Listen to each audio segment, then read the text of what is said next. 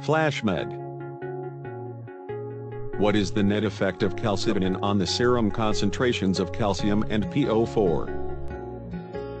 Calcitonin decreases serum calcium and decreases serum PO4.